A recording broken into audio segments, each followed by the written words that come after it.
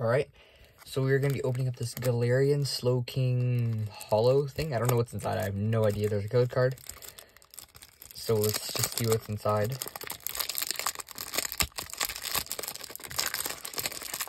Alright. Trash. Alright. Code card. It says Knockout Collection.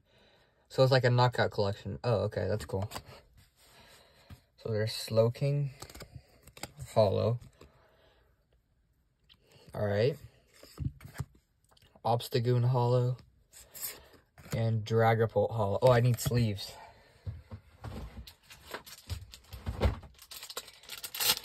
Let's get some sleeves.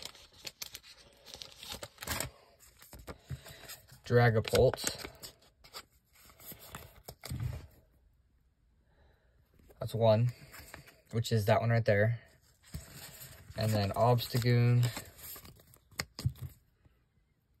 is right there.